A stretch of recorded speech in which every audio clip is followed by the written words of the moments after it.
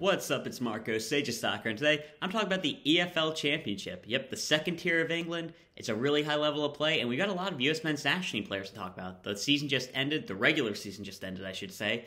We got two teams that got promoted, a couple of teams in the playoffs, and again, a lot of US men's national team eligible players in that list. So I want to talk about some. So starting things off, we got Fulham getting promoted to the Premier League. And yeah, really good for Antonee Robinson and Tim Ream. But we got some other players in the academy too. I feel like we should mention, especially after seeing someone like a Luca de la Torre come through at Fulham's academy and just end up doing great. So those guys deserve mentioned. But let's start off with Antonee Robinson, and Tim Ream. Both had great seasons.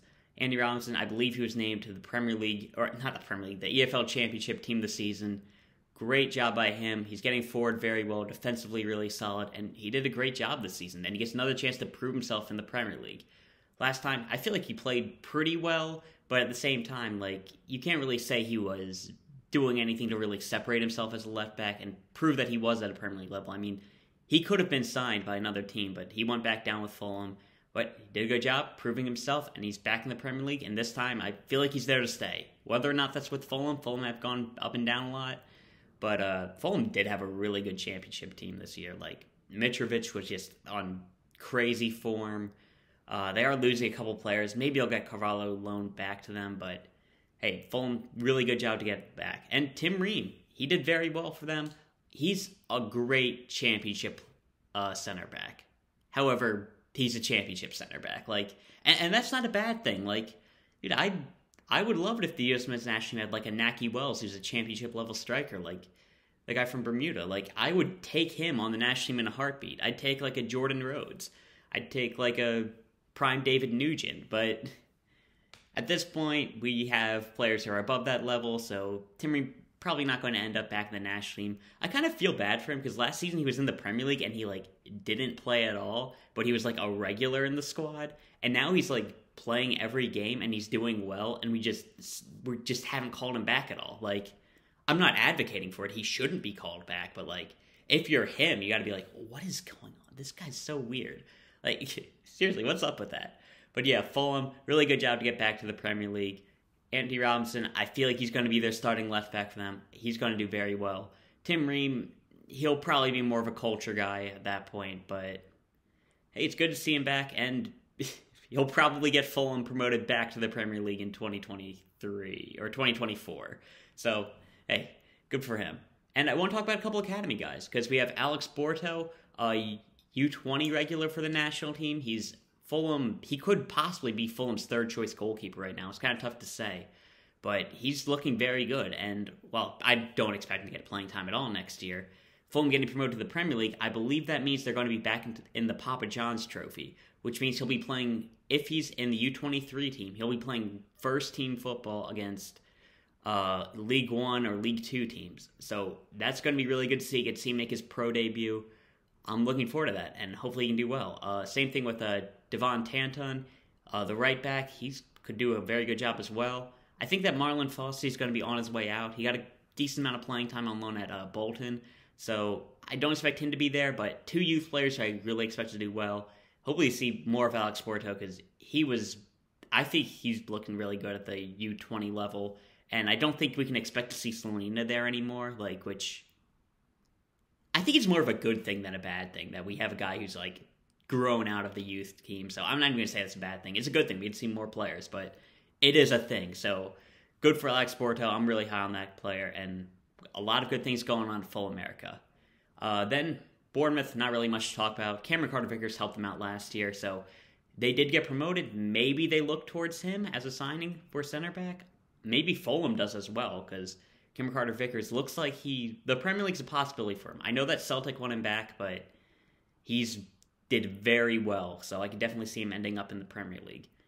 So just something to remember with Bolton going up, but uh, I wouldn't expect him to go there. It's definitely possible, but I don't know. We'll have to see how the summer plays out. Next, we got to talk about a couple players in the playoff. Teams that have a chance to get promoted to the Premier League. We have Nottingham Forest, uh, Huddersfield, Luton Town, and why am I forgetting the other team? got Huddersfield. They're going to be playing uh, no, Nottingham Forest won at the end, so they're going to be playing Luton Town, and it's Nottingham Forest playing, uh, or Huddersfield playing Sheffield United. I just remembered Sheffield United. So we got a couple players to talk about with a lot of U.S. men's national implications. Three players who we could possibly expect to play, and I want to talk about another one at the end as well. But starting things off, we got Duane Holmes at Huddersfield. Duane Holmes is somebody with a lot of fans, and I think he's a quality player. I don't think he's U.S. men's national team quality, but he's definitely very good. Like I think the discourse around him is that like if he was in the MLS, like if he decided to go to the MLS, he'd be a regular on the national team, and I I can't really disagree with that. But I think just on his quality, I don't really rate him above Luke De La Torre. I don't rate above uh, Abusio, McKennie, Musah, and that doesn't really make him into the starting lineup for me. But hey, he's still a quality player. Like he should be on the bubble. Like just because I don't think he's in the should be in the national team doesn't mean he's a bad player. Like our eight, like our midfield has suddenly become our deepest position, and him he should be in the conversation. I don't think he should be in the team, but he should be in the conversation.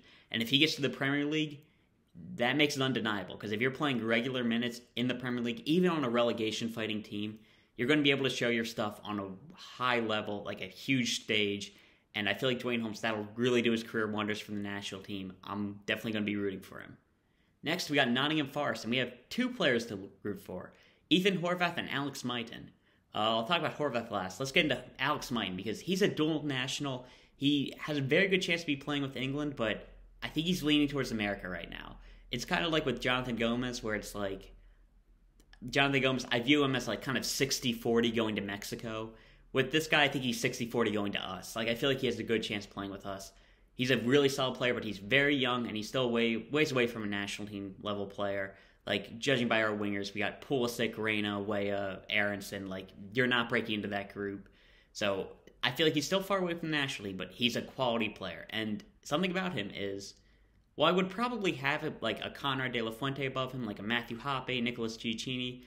I'd probably have all them above him quality wise, but Alex Mighten's got a really good left foot. I actually found out it's not his natural foot, but it's still really good.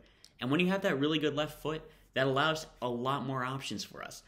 Because we don't have left footed players in this team. For some reason, this whole generation, like the American born players, we only got Luca De La Torre, who's like a good left footed player. We got Jedi Robinson, he's foreign. John Brooks, like naturally not born in a from a foreign academy, I should say. Because I, have got a whole video talking about that. Maybe because I want to make an off, offspring reference. Kids aren't all right. Get it?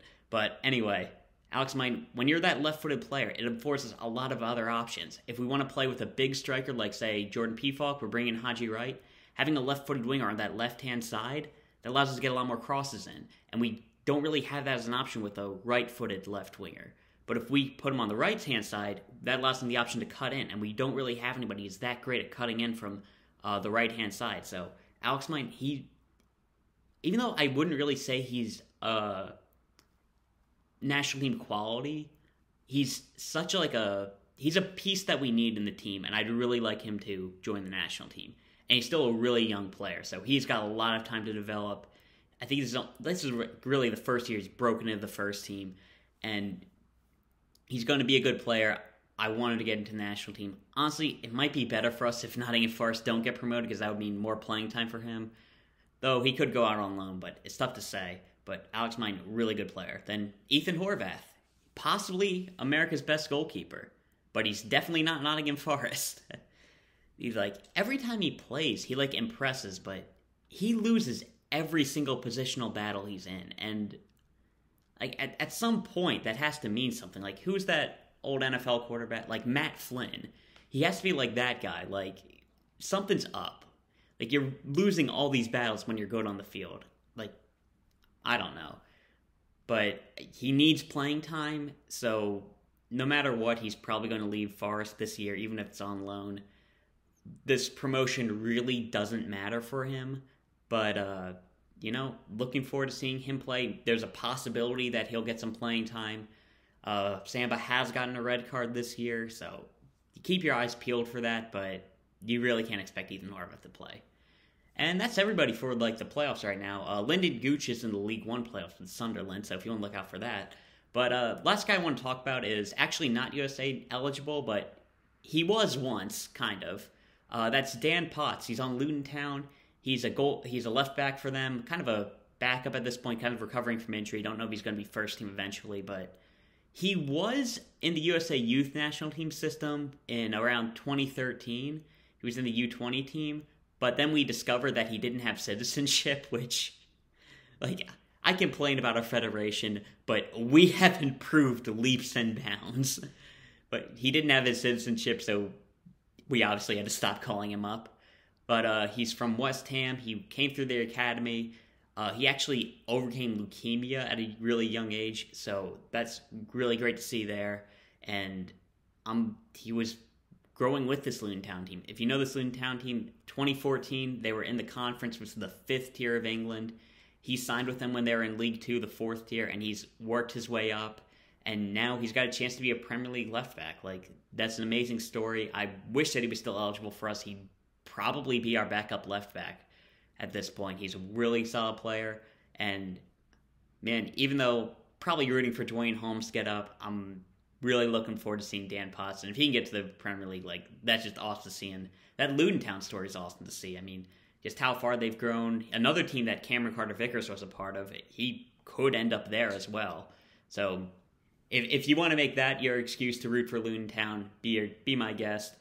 Get Cameron Carter Vickers to the Premier League. But yeah, Town, looking forward to them, rooting for them, rooting for everybody in the American team. Uh, I don't know, even can even uh, Sheffield United have uh, Daniel Jebbison, who's the Canadian. They've got a dual international who's an American as well. Uh, I, th- I, think they call him like Little Messi, but everybody they call like Little Messi ends up, you know, not panning out. Except for Brandon Aaronson, Medford Messi. So hey, maybe we're the ones who cracked the code on the Little Messi. So yeah, a lot of good players for us, and I'm really looking forward to seeing everybody in the Premier League. Fulham's going to be really fun to watch. Uh, man, I hope maybe Cameron Carter Vickers ends up on one of these teams, and either Dwight Holmes, Alex Mighten, you know, anybody. It's going to be really fun to see, and I'm rooting for these American guys. Just want to let you know about championship playoffs coming up. And yeah, so I'll talk about right now. See ya.